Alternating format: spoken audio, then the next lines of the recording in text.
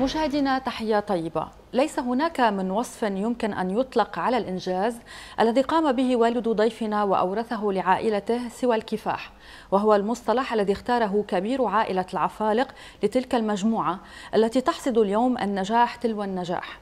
منذ أن قام بإنشائها المرحوم حسن العفالق في مدينة الإحساء السعودية عام 1970 بعد وفاة والده في العام 2005 حمل ضيفنا على عاتقه مسؤوليات لتوسع الشركة ونشاطاتها ليصبح لاحقا رئيس مجلس الإدارة في شركة كفاح القابضة.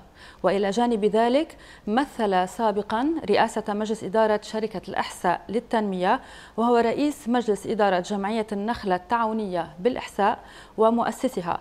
وعضو اللجنة الزراعية في الغرفة التجارية في الإحساء وله عدة عضويات منها في مجلس إدارة مركز التميز للأبحاث لأبحاث النخيل والتمور ومجلس مركز الترجمة والنشر في جامعة الملك فيصل في السعودية. لكن تبقى رئاسته لمجلس إدارة شركة الأحساء للسياحة تحمل مكانة خاصة في نشاطاته الكثيرة حيث يكرر دائما أن الرسالة التي يحب أن يذكرها في هذا الشأن للجيل الحالي أن الإحساء ليست كما تناقله البعض بأنها كانت تعيش العصر الحجري وإنما كانت تسخر بالكثير من الحرف والثقافات والموروثات التي ورثناها من الأجداد. عبر فعالية أرض الحضارات في جبل القارة التي لا يمكن أن تغيب عن اهتماماته أبدا إيمانا منه بأهمية المسؤولية الاجتماعية تجاه وطنه. شعاره في الحياة هو مهمتنا الحقيقية هي تحويل قيمنا ومفاهيم عملنا إلى بناء ملموس. في العام 2007 أسس شركة المطورون العالمية كابنة صغرى لمجموعة الكفاح القابضة التي تجاوز عمرها الخمسين عاماً. لتبرع بشهادة الكثيرين في الإحساء والمنطقة الشرقية في توفير المنتجات العقارية الفائقة الجودة التي تناسب مختلف قطاعات المجتمع وهو ما يجعلها قاب قوسين أو أدنى من الوصول إلى قيادة السوق. هو حاصل على بكالوريوس في إدارة الأعمال من جامعة سان خوسيه في الولايات المتحدة الأمريكية إنه الأستاذ وليد العفالق رئيس مجلس إدارة شركة الكفاح القابضة. أهلا وسهلا بكم مشاهدينا في هذه الحلقة وأهلا وسهلا بك أستاذ وليد. أنت قادم من الإحساء آه، لإجراء هذا الحوار. آه، ماذا تحمل معك من موروثات الإحساء التي على المشاهد أن يعرف عنها أكثر فأكثر؟ أهلا وسهلا فيك. أنا سعيد بلقائك هنا. الإحساء غنية بكثير من تراثها وأهم عنصر في الإحساء هو أهلها. نعم. لأن أهلها ذو ثقافة عريقة وقديمة مم. من آلاف السنين وهم متعايشين في الفلاحة والتجارة وال... نعم. توارثوها من الأجيال من الأجداد إلى الأجداد. أتقنوا كثير من الحرف. الحرف اليدوية وبالذات الحرف الزراعية. آه، هناك كما نعلم قصور عثمانية في الإحساء وهناك آه، أماكن آه، تراثية قديمة. هل بما أنك أيضا في المجال السياحي هل هناك تنشيط لهذه المعالم عن طريق إبرازها للعالم كي يعرف أكثر عن هذه ال يعني ال الأنتيك أو مثل ما بيقولوا التراثيات؟ الإحساء تذخر بكثير من المناطق المناطق السياحية. ومنها القصور العثمانية. فيها لدينا قصر إبراهيم آه، وقصر صاهود وفي قصر محيرس. آه الآن هم في إعادة الترميم لهم وإن شاء الله إنهم حيفتحون في القريب العاجل. تعتبر الاحساء هي من أقدم عشر حضارات إنسانية مسكونة مأهولة بشكل دائم. آه، قديش هذا آه، الصفة أو هذا الواقع أعطاها آه، نوع من التميز خاصة أنه هناك توفر للمياه توفر للزراعة توفر للحياة يعني قابلة للحياة والعيش هناك بشكل دائم الأحساء واحة أكبر واحة زراعية للنخيل نعم. في العالم تاريخيا يقطنها الإنسان من أكثر من قبل 4000 سنة قبل الميلاد. نعم. هذا ما تم ما إثباته تاريخه. مرت عليها الكثير والكثير من من الدول القديمة وعاشت فيها. نعم. آه هذا أضاف إلى إلى إلى الأحساء ولهذا نحن نقول إن الأحساء أهاليها آه يعني يعتزون بالمواريث اللي موجودة لديهم والعلم لديهم. معروف عن أهل الأحساء أنهم طيبين. حتى أنه في مثل بيقول يا حب لأهل الحسا أو يعني عبارة تردد دائما. آه، هذه الطيبة كيف يمكن وصفها؟ هل هي يعني مختلفة عن باقي الشعب السعودي؟ الشعب السعودي طبعا كله الحمد لله شعب محب ومعطاء ولكن أهل الحسا يمتازون الطيبة عندهم طيبة الفلاح يعني طيبة الفلاح والطيبة المزارع. نعم. آه ولأنه قربه من الماء وكذا يختلف شوية عن م. قوة وقساوة العايشين في المناطق البرية.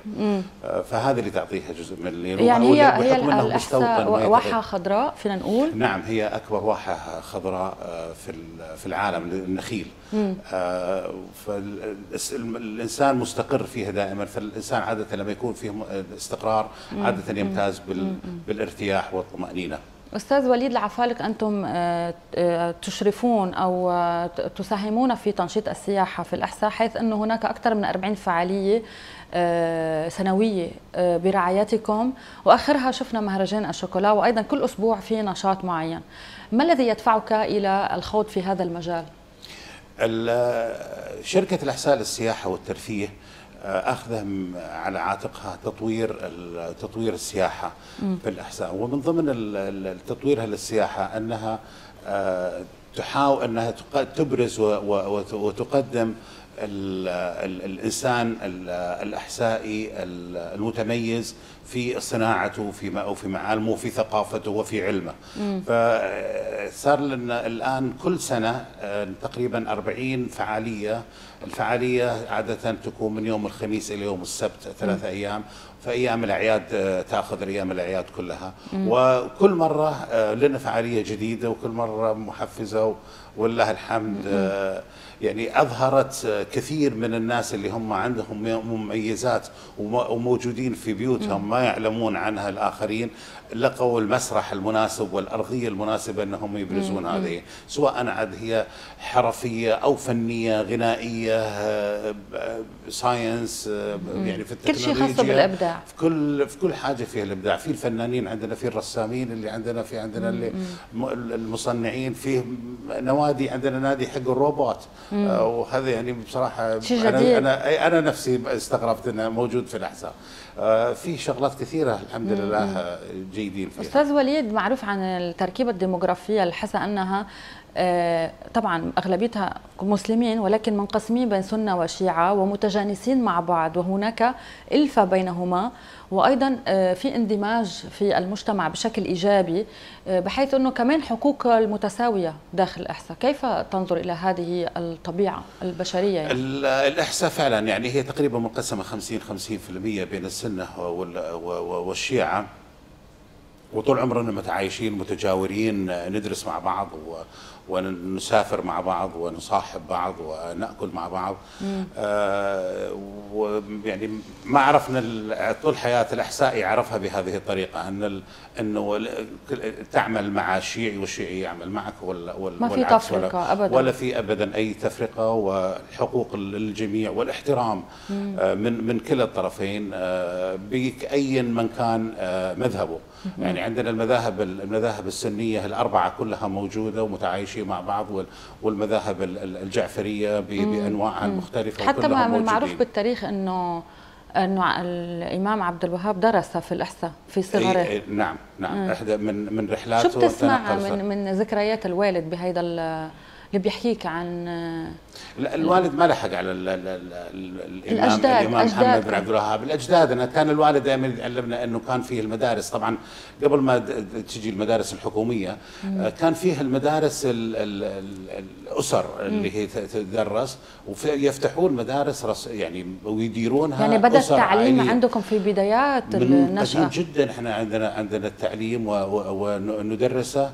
يعني الأحساء ومدارس الأحساء ومدارس مكة هي أكثر مدارس وأكبر مدارس موجودة في في الجزيرة العربية.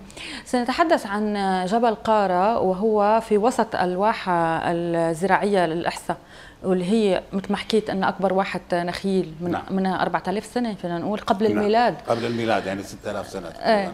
آه كيف بتنظر لهيدي الميزة ميزة الطبيعة وهل هناك تقصير رغم جهودك الشخصية كرجل أعمال ولكن هل يعني آه، هناك مشاريع ضخمة من أجل تحفيز هذا الجبل والاستفادة من الموقع آه، الخاص به؟ الشركة الاحساء للسياحة آه، أخذت عقد من أمانة الاحساء بتطوير وتشغيل مشروع جبل القارة. وعملنا على جزء منه الآن. جبل القارة هي فيه تقريبا ثمان أو تسع مغارات مختلفة. أخذنا هي يمكن أكبر واحدة فيهم و وطورناها آه هذه المغارة بالذات يعني فيها فيها ميزة انه اللي هو المغارات عموما كلها تقريبا فيها ميزة درجات الحرارة، درجة حرارة المغارة ثابتة آه طول السنة. مم. على درجة حرارة تقريبا 23 أو 22 درجة، سواء الجو الخارجي أقل من كذا أو أعلى من كذا هي نفس فتحسين لما تدخلينها تحسين بالجو البارد اللطيف، الرطب مم. لأن هي الصخور مم. ركامية فتمتص الرطوبة رطوبه الأمطار وتبرزها فلطيفه جدا الواحد إنه إنه يزورها. مم. وندعوك إن شاء الله إنك تزورينها وتشوفين إن شاء الله بإذن الله. انها فعلا خلابه معروف عنك أنك مدمن ولكن مدمن على الزراعة العضوية. آه، وأنت أيضا عضو في مجلس إدارة الجمعية السعودية للزراعة العضوية صافا آه، مين بعد بيحكي بالزراعة؟ نحن هلأ بعهد يعني بعصور بنحكي صناعة ونحكي تكنولوجيا. هل يجب برأيك الحفاظ على آه، العنصر الاقتصادي المختص بالزراعة في هذه الأيام؟ آه والدي الله يغفر له من أول ما بديت أنا العمل معه آه كنا نعمل أعمل في التجارة والصناعة. آه وهو طبعا تخصصه متخرج من جامعة الجامعة الأمريكية AUB قسم قسم زراعة فيحب محب كثير للزراعة وطبعا من اهالي الاحساء ومواريث الزراعية من الأجداد. فأصر علي إلا أنه أنا أتعلم الزراعة حتى لو أنها دخلها بسيط. آه، لكنه ولله الحمد. الحمد لله أني أنا سمعت كلامه وطوعته وتعلمتها. ولله الحمد يعني حبي وشغفي للزراعة طورني وأخذني إلى أنه آه، دخلت في فكر الزراعة العضوية. و... هل في مراكز تدريب بتدرب الشباب أو الخريجين الجامعات ليتعلموا هذه المهنة؟ الآن آه، طبعا ما هي في جامعة الملك فيصل نحاول نحن الآن كجمعية سعودية للزراعه العضويه آه، في تعاون بيننا وبينهم ان هم يمنحون هذه المادة، جامعة الملك سعود أعرف برضو عندهم قسم لتعليم يعني منهج الزراعه دراسي. العضويه كمنهج دراسي نعم. آه، بس يعني ما هي متخصص يعني هو مادة من ضمن مواد الهندسة الزراعية وال في لها مستقبل ترى انه المستقبل أمام هذه الزراعة نوع الزراعه العضوية ولا ولا آه، بيظل وجود سموم ببعض الأشياء المستوردة أو المنتجات المستوردة؟ وزارة الزراعة في السعودية داعمة بشكل كبير جدا على الزراعة العضوية. وهذا تأكيد على أهمية آه، أنه الغذاء السليم في في الجسم السليم صحيح آه، فعشان للبعد عن هذه التجاوزات ف وبحكم إنه شح المياه في, في, في السعودية ف يعني أكدت إنه من الضرورة إن إحنا نعمل على الجودة في المنتج أكثر من موضوع اللي هو الكمية. نعم. آه فهذا اللي خلى العنصر الأساسي اللي دعا السعودية إنها تدعم الزراعة العضوية وفي العموم الزراعة النظيفة. نعم. بس طبعا الزراعة العضوية هي آه، أرقى وأهم واسمى قبل أن أنتقل إلى فاصل أعلاني سأسألك آه، بحديث أو أنت ما تعتز به إنه أنت كان عمرك عشر سنين كان الوالد يعتمد عليك في آه، توزيع الأعلاف وفي مجال الزراعة توزيع الأعلاف على المزارعين وكان اسمها بالزمانات في البدايات مؤسسة العفالق. ماذا تذكر عن هذه المرحلة في تاريخك؟ في تاريخ مسيرتك ونشأتك آه، مما تعلمته من الوالد؟ الوالد الله يرحمه كان يعني يأخذ يصطحبني وياه في العمل وأنا في المرحلة الابتدائية. آه، يعني في عمر آه، يمكن حول العشر سنوات. وكان وقتها الوالد موظف في شركة أرامكو فما كان يعني متواجد كثير في هذه في, المزرعة. فأنا أقوم بكثير من الأعمال اللي من ضمنها التسجيل في الدفاتر عن المبيعات والمصروفات وهذه وتقابل بعض بعض العملاء ونوزع عليهم. أحيانا منتجات الدواجن ينتج البيض فيصير فيه ازدياد ألف المحلات التجارية وبيع عليهم مم. وأنا في هذاك العمر الصغير يعني. آه هذا علمني على كيف إني أتعامل مع الناس وأشتغل معه وهذا فخر كبير لي إني أنا مم. تعلمته من والدي هذا. أستاذ وليد العفالق ابقى معي. فاصل قصير مشاهدينا ونعود إليكم عبر حلقة للرواد فقط عبر قناة حواس. تابعونا. سنعود للرواد فقط. عدنا للرواد فقط. أهلا بكم مشاهدينا مجددا أستاذ وليد في بالعودة الحوار معك آه، حكينا عن مؤسسة العفالق في البدايات ولكن اليوم تطورت وأصبحت شركة الكفاح القابضة.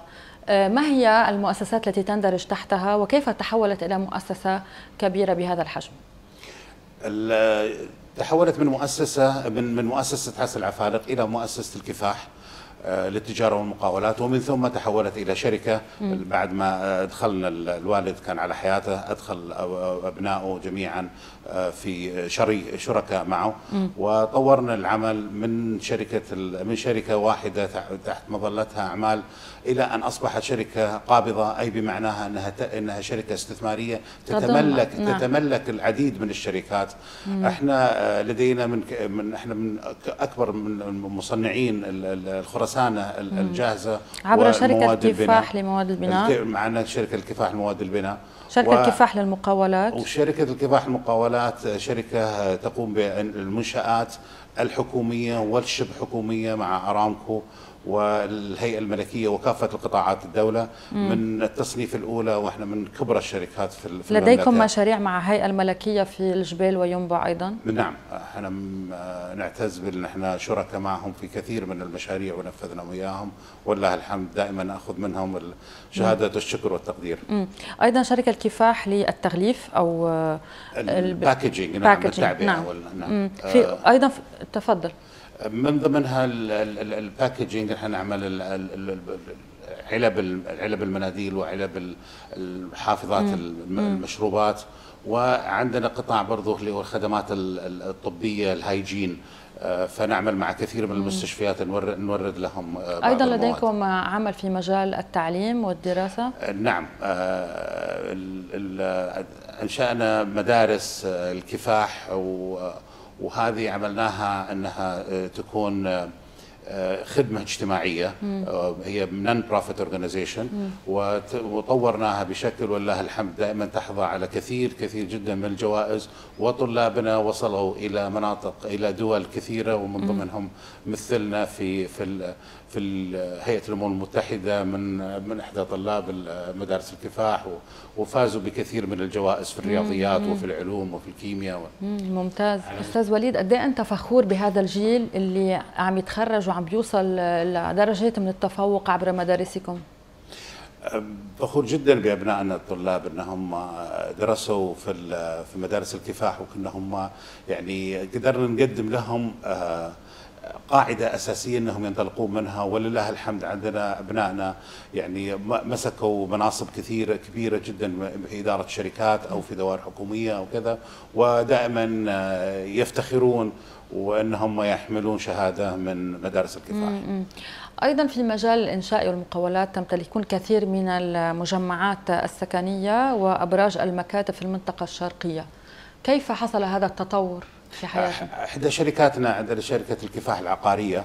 آه هذه تتملك مجموعة من المجمعات السكنية. مم. ولدينا برضو أبراج لبرج المكاتب آه، في الخبر والأحساء والدمام. ومن هذا إحدى الشركات ونحن نطورها. والان عندنا مشروع كبير منشآت آه، في في الجبيل آه، مع الهيئة الملكية برضو مجمعات إسكان لموظفي الشركات ال- في تبع الهيئة الملكية. معروف إنه قطاع الرياضه ينال اهتمام جميع الشباب السعودي دون استثناء. أنتم ترعون نادي أي نادي؟ شو اسم النادي؟ نادي الفتح. نادي الفتح. آه، ليش نادي الفتح بال- بالذات وليس غير نادي أو نادي, نادي آخر؟ الف...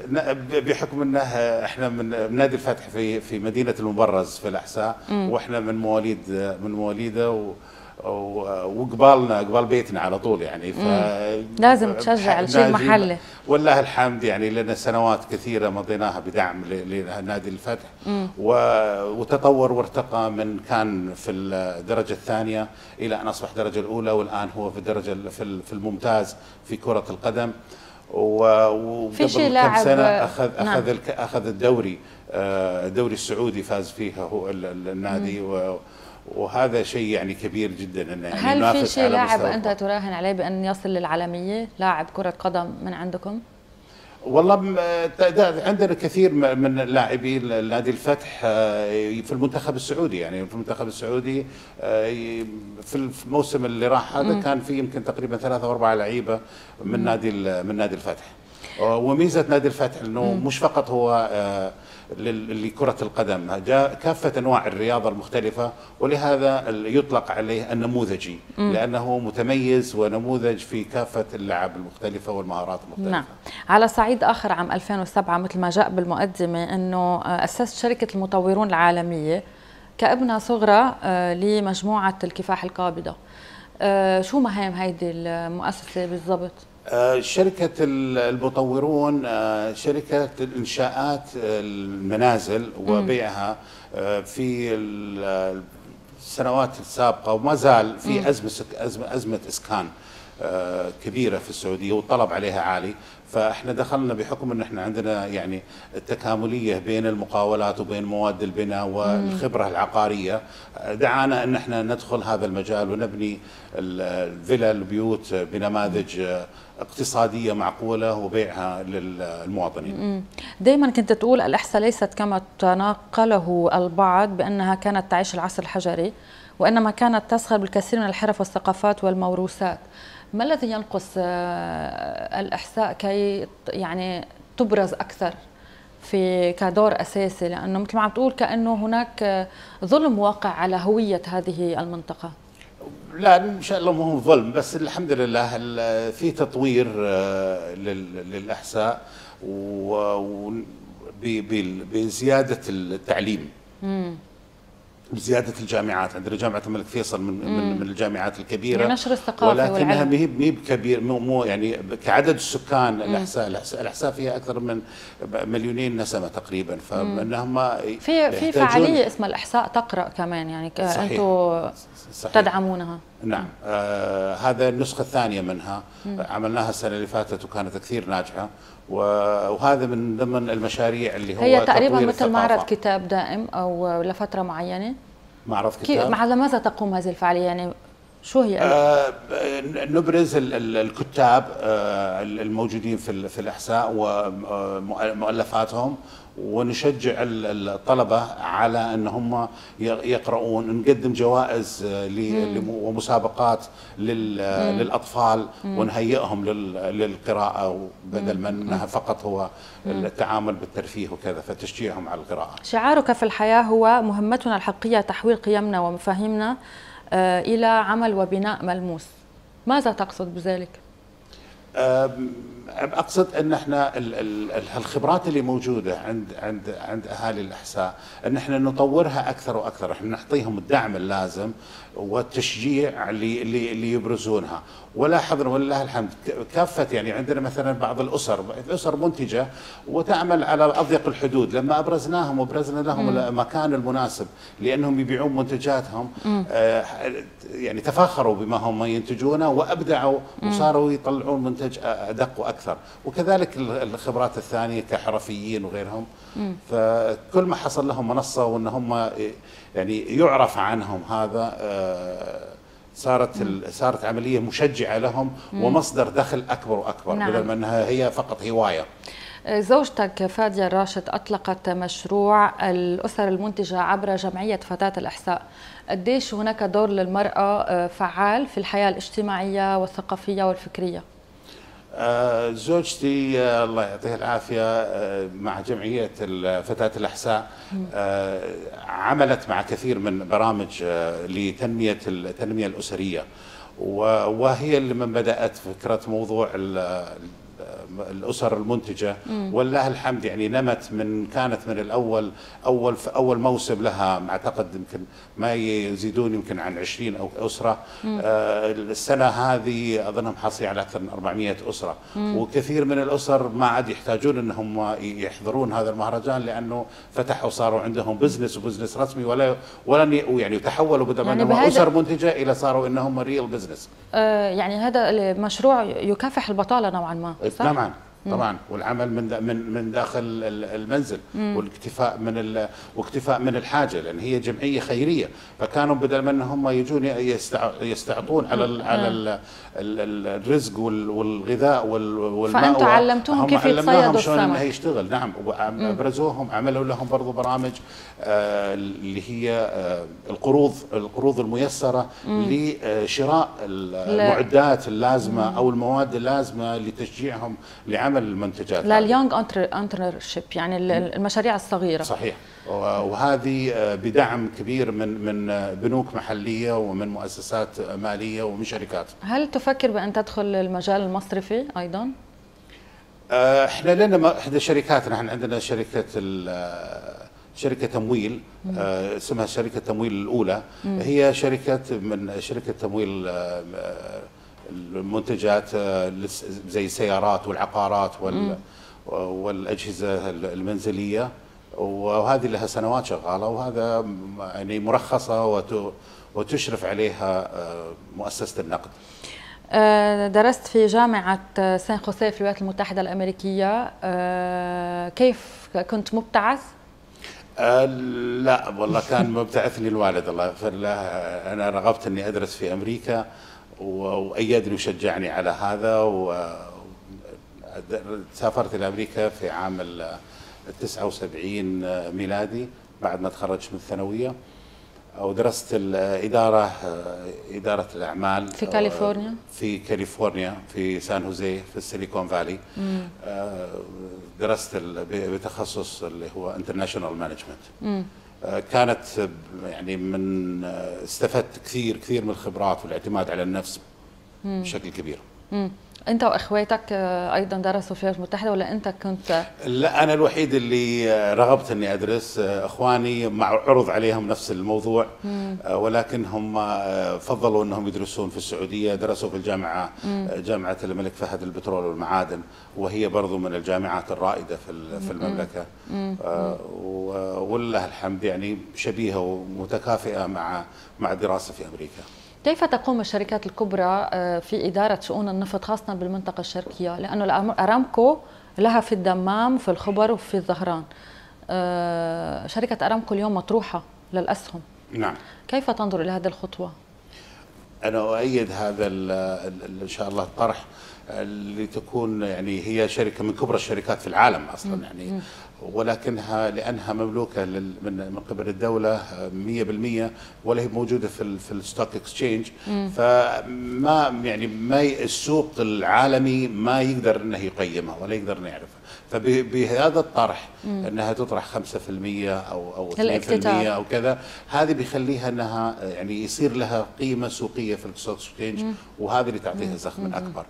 آه نتمنى لهم إن شاء الله التوفيق من الشركات الكبرى ونطور ال- ال- ال- المنطقة والعالم كله يعتمد عليها. انطلاقا من ذلك سؤالي ما قبل الأخير لك حول رؤية 2030 كيف تنظر إلى عهد الملك سلمان وولاية العهد مع سمو الأمير آه، محمد بن سلمان آه، هذه النهضة الاقتصادية المتقدمة بأشواط التي نقلت المملكة العربية السعودية إلى مصاف الدول القائدة اقتصاديا سياسيا وحتى إسلاميا في المنطقة.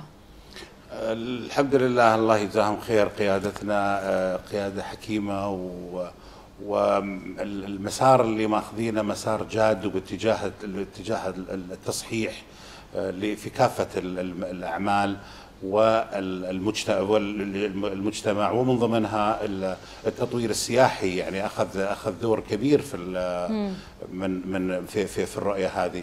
آه، يعني القطاعات الأخرى القطاع الزراعي القطاع التعليمي النقل كلها ماخذة التوجه الصحيح في في في, في الإنشاءات. بالحديث عن المشاريع الجديدة مشروع اليوم الذي هو قبلة المستقبل الاقتصادية السياحية الاستثمارية كيف تنظر إلى آه، البدايات في هذا المشروع وأين سيصل؟ يعني مشروع جبار و والاستفادة خاصة الآن من الخبرات الأجنبية. يعني بصراحة في خلالها فترة بسيطة جدا مم. الآن آه، يعني آه، صار فيه الاستقبال الرسمي فيه منشآت فيه المجلس الوزراء يعقد في في في اليوم خلال فترة ما تتجاوز أقل من سنة مم. آه، فهذه يبين إنه إنه فعلا إن التوجه لهذا المشروع توجه جاد وواعد واعد بشكل كبير المنطقة جميلة جدا في المنطقة الشمالية أجواءها حلوة مم. تضاهي أي مناطق في العالم وهي فعلا يعني قلب نابض في في في في المنطقة هناك ونتمنى لهم إن شاء الله التوفيق. يعني. آه، رغم ديمقراطيتنا العجيبة في بعض الدول العربية ولكن سبقت السعودية باقي الدول بشكل وجيز خاصة اليوم أصبح للمرأة مركز برئاسة البلدية. كيف تنظر إلى ذلك؟ الحمد لله يعني فعلا المرأة في السابق ما كان لها مجالات في في العمل. إلا ما كان يعني في في الخدمات الطبية والتعليم والباقي هي تربية ربة منزل. ربة منزل. الآن فتح المجال في على مصراعي. المرأة تعمل في كافة المجالات. مم. وأخيرا اللي حصل انطلاقا أنهم قيادة المرأة. هذا كثير يعطي مم. المرأة أنها فعلا تدخل وتنافس في العمل وتحضر إليه. آه، المشاريع آه، اللي تدخل في في الآن تنافس على كافة الوظائف ولله الحمد أثبتت المرأة السعودية أنها كفؤ للمناصب اللي هي تمسكها وأنها فعلا انها يعتمد عليها وأنها فعلا تأخذ العمل بكل جدية مم. سواء في الأعمال المكتبية أو الأعمال الصناعية، مم. أنا عملون عملوا معي سيدات في العمل الصناعي مم. وعملوا معنا في في في الهندسي وفي وهم ما شاء الله عليهم يعني ودائما متفوقين. أنا أشكرك أستاذ وليد العفالق آه، على هذا اللقاء المتميز حللت ضيفا عزيزا هنا في دبي. شكرا لقدومك وأتمنى لك التوفيق دائما. أهلا وسهلا. شكرا جزيلا. شكرا مشاهدينا لحسن المتابعة. كانت معكم مريم معروف في برنامج للرواد فقط عبر قناة حواس.